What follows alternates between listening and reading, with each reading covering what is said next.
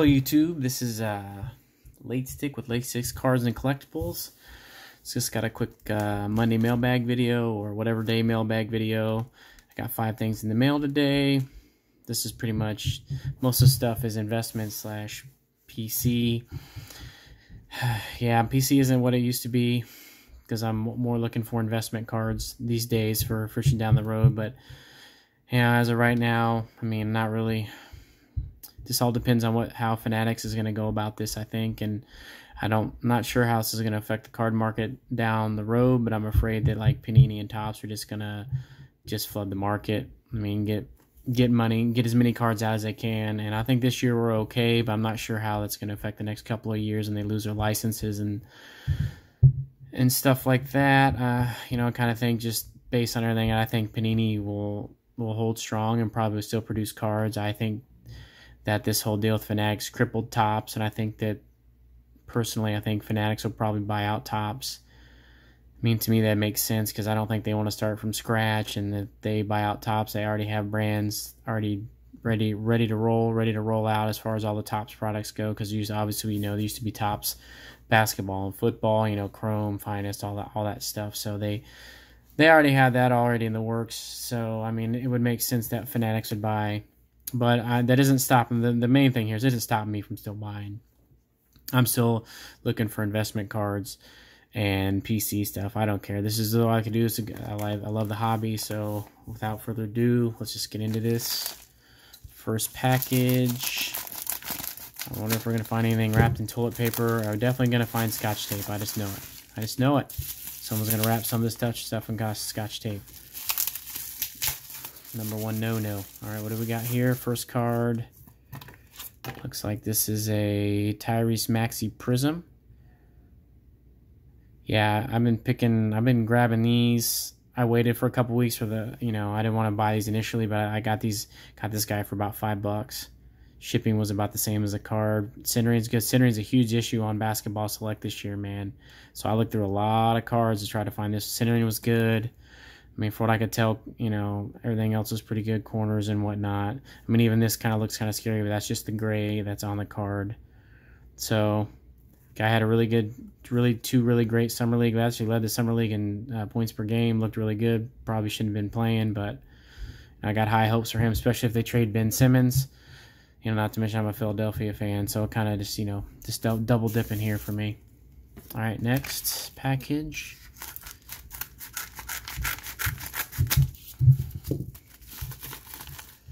Oof, I came close to getting the card on that one. I came real close to getting the card. Okay, this is another kid that I remember watching when he was probably 14 or 15, hitting 500 foot home runs. I mean, he was only a third round draft pick, but he's really highly touted, and I want to get my hand on a couple of these. I mean, I thought about maybe buying a box or two, but you know, I picked this up for about 50 bucks.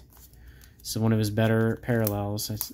Um, not really parallels. This is Sapphire. This is Bowman's top end product. I'm so glad I did not clip the top of that card. That would have been nasty. Once again, I've looked at probably 40 or 50 of these, and I've only bid on two of them because the centering is a huge issue with these cards as well for some reason. I don't get it. A lot of the Mojos, not so much. The Mojo ones come out of the Mega Box, not so much. This is a premium product, and I've seen so many centering issues. I'm probably going to try to land my hands on one or two more of these just just to hold. I got you know half dozen of his mojos and about ten of his base chromes and some of the paper uh, parallels as well. I haven't gotten into any number cards yet, but I will look into that. But I want the hype on him to you know I want next year's product to come out before I chase it because he probably won't be smashing in the big leagues just as yet. So I mean, so his gold parallel is going for close to 300. So I want to maybe grab one of those, maybe one of the greens or blues. I don't know. Just gonna see what I'm gonna get deal on. Really want to get the sapphire instead of this the regular Bowman chrome. But yeah, I'm really high on this kid. He's you know 18 years old. Just just got paid by the Sox. I think he just got moved up uh, as of August 21st. He got moved up again. So yeah, high hopes for this kid. A lot of people are probably invested in him. I mean, the kid's got killer power. Got gets the Bryce Harper, you know, references. But then again, you know. Anyways, next moving on. Next card.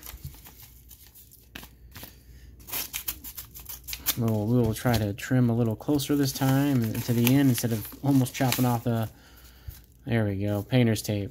Number one thing that every YouTube or YouTube eBay seller needs. Doesn't stick. Comes right off. I'm not worried about it damaging anything. Because so many people use scotch tape and just pretty much ruins the holder. And, and if you tape the top with scotch tape, chance of damaging it. Uh, okay, this is Tyrese Maxey courtside base from the retail product. Got this guy for 10 bucks. Waited, waited, waited. So, I mean, the first couple days these came out, man, I watched a couple sell for like 50 bucks. I'm like, you guys are crazy.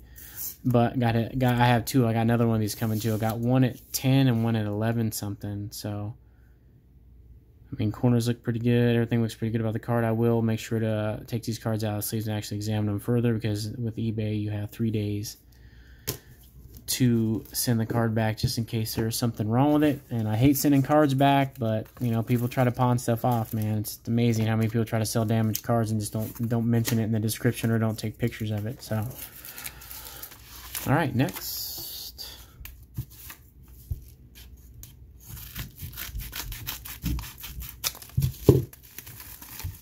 Damn, almost got this one too. All right. Not really sure why I bought this card. I think the reason why I bought this card is because I'm going to make a video. I have a most impressive Derrius Guice collection. And I think the reason why I got this card is I got it for like three bucks. It's this field level silver rookie. And the NFL just handed down his six game suspension. So after six games, he's going to be ready to roll. And now that J.K. Dobbins is down and ETN is down, there could be a possibility for him. I mean, the guy's a stud. He just, you know, needs just had some issues that I hope hopefully he worked out because he's young. I mean, I hope he, he gets his second chance at it. I mean, but anyways, I got a ton of his cards, and at you know three bucks for his field level rookie, uh, yeah, I'll take that all day long. There's a couple of more I'm eyeballing as well. You know, I've already dropped a ton on him his rookie year, and then he got hurt, and then the next year he put strung together four good games. I was getting ready to dump a bunch of his cards that I had doubles and triples of because yeah, he is a PC, and then he got hurt again. And then, you know, what else happened. So, anyways, hope he comes back healthy and strong. I mean, anyways, it's a beautiful looking card right there. All right, last card.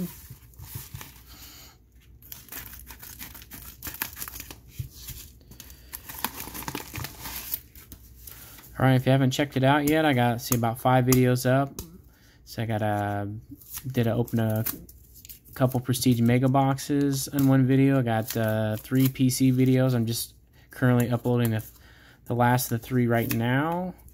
And I'm also going to be uploading a video, open up a couple uh, Topps Chrome Baseball Mega Box, or not Mega Box, Blaster Box, which, which quite honestly, I mean, man, baseball is just such a cheaper, cheaper rip, and you're always going to get, if you know anything, there's always going to get your money back. It's really, I mean, it's much easier to get your money back, especially if you're buying secondary prices, man. Because I want, I've been trying to get select basketball on Target, and it's just been brutal. The bots have just been feasting. All right, and I should have waited another couple weeks before I bought this, because once I think uh, Donruss releases and it's you know affordable product for everyone to get them in the pro units, I think these prices are going to drop even further. I only paid twenty five for it. I mean, did I overpay? I don't think so, because I think this card, I mean, there's a lot of hype on him, and I do have the pink one as well, and I'm going to try to find the orange one. Green one was the hardest one to find. That people are just not auctioning these things. I This guy sent me a $30 or buy it now, and most everybody else has them posted for 50 or more. I, I just threw him a 25, or and he accepted, so, and I'll take it. Justin Fields looks like he's, you know, going to have a bright future as of right now. And I mean, Andy Dalton might start the season, but I don't see Andy Dalton lasting too long. I mean, as long as this kid stay healthy, I think, I mean, they got high hopes. Of course, he's, you know, I'm a Ohio State guy, so I mean, PC, I'm going to PC him as best I can. We all know that the average man can't really PC, uh, you know, premium quarterbacks as it's going to get get expensive. But I'm hoping, you know, some of the stuff that I flip, I can, you know, buy some of his nicer products when they do come out anyways, I mean, that's that's that. Um, thanks for joining, and I got a couple videos that I'm to be uploading here. One today, actually probably two today, and uh, hopefully I will probably drop this one tomorrow the next day. All right, thanks, uh, YouTube, and we'll catch you on the next one.